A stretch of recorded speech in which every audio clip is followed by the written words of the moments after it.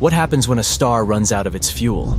First of all, paradoxically, it grows to a million times its original size. You see, when the core of a star runs out of hydrogen, it starts contracting under the weight of its own gravity. But some hydrogen fusion continues in the upper layers.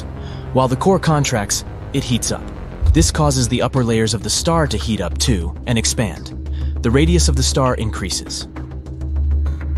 As the star grows, it engulfs any matter, even its own planets, in its wake. Astronomers have watched stars right before or straight after swallowing entire planets, but until recently, they have never seen the process itself. Scientists from different universities have reported that for the first time in history, they've observed a star swallowing a planet.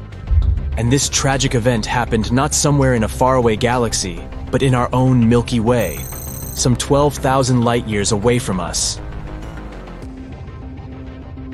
Astronomers spotted an outburst from a star, which is around 0.8 to 1.5 times the mass of our Sun, near the Eagle-like constellation, Aquila.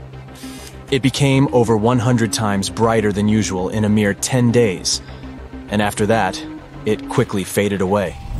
Even more interesting, this white-hot flash was followed by a longer-lasting signal that was also colder than the first flash. And this combination, my friend, could only mean one thing. The star engulfed a nearby planet. What planet was it? Astronomers believe it could be a boiling hot world from 1 to 10 times the mass of Jupiter. Such planets are also called hot Jupiters. They're giant exoplanets similar to the Jupiter we have in our solar system that need less than 10 days to orbit their stars. The planet we're talking about had been gradually spiraling toward the star until it was pulled into its atmosphere and, eventually, into the core of the perishing star. This galactic feast happened between 10,000 and 15,000 years ago when the star was about 10 billion years old. And given its respectable age, the swallow itself happened lightning fast, in one fell swoop. This is very different from other hot Jupiters, which were quite delicately nibbled by their stars. Astronomers aren't sure if there are any other planets orbiting this star perhaps at a safer distance, but even if there are, thousands of years will probably pass before they become the star's main course or dessert. In any case, now that astronomers know what they should search for, they're going to be on the lookout for more cosmic gulps.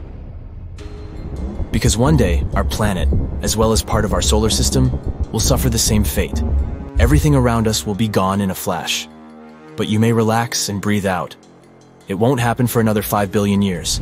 That's when the sun is supposed to burn out and expand so much that it will swallow the inner planets of the solar system, Mercury, Venus, Earth, and Mars.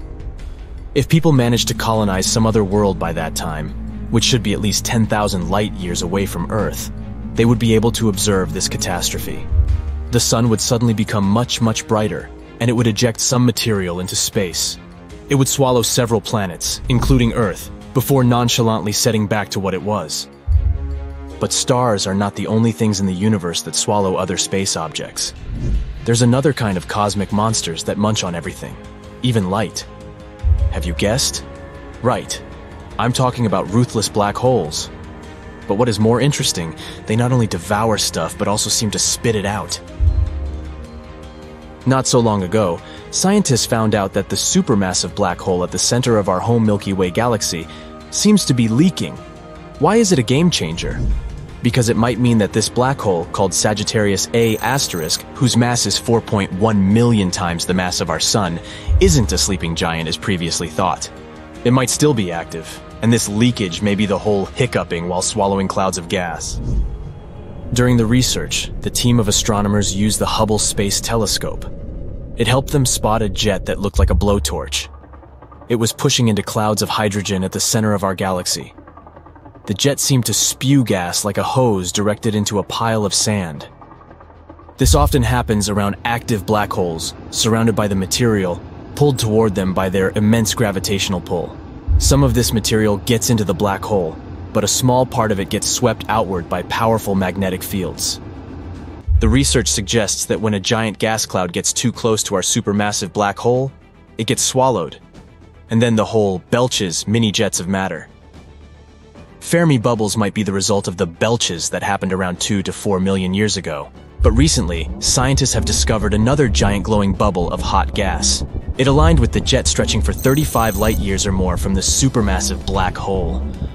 Astronomers suspect that the jet could have plowed into this bubble of gas and inflated it. Now I'll tell you something even creepier. There seem to be black holes that might be eating each other. Well, kind of. They're actually trying to share their meal at the moment, but who knows what will happen in the near future. But let me go into detail. Astronomers have spotted two supermassive black holes, feasting on the cosmic material of two merging galaxies in distant space. These giants have been located with the help of the Atacama Large Millimeter Submillimeter Array of Telescopes, also known as ALMA. These telescopes are in northern Chile's Atacama Desert. Scientists originally used them to watch two merging galaxies located about 500 million light-years away from Earth. Astronomers have also noticed that two gigantic black holes were growing alongside each other not far from the center of the coalescing galaxy, UGC 4211. Apparently, these black holes came across each other when their host galaxies collided.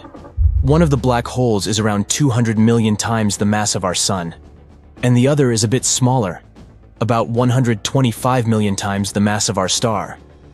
Even though they aren't visible directly, the black holes are surrounded by bright clusters of warm, glowing gas and stars. All of this has been tugged close by the black hole's gravitational pull.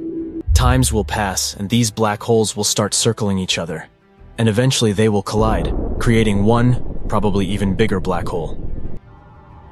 Scientists have been observing these black holes across multiple wavelengths of light and have come to the conclusion that they are kinda unique. They're located the closest to each other astronomers have ever seen. The distance between them is a mere 750 light years, which astronomically speaking, is just next door. Even more exciting, this distance is close to the limit of what modern technologies can detect. Interestingly, such ginormous merges are more typical for distant galaxies. This makes it harder for Earth-based telescopes to see them. But the sensitivity of ALMA helped astronomers observe those bright and compact regions where matter swirls around black holes. Imagine how surprised astronomers were when instead of one black hole, they saw two of them, munching on the dust and gas stirred up by the massive space merger. The most important thing about this discovery is that it may mean that such black hole binaries are likely to be much more common than we previously thought. And if pairs of black holes are so common, it might make it easier for us to study gravitational waves that occur when black holes collide. Such waves are also known as ripples in spacetime. If we talk about the recently discovered pair of black holes, it might still take them several hundred million years to crash into each other.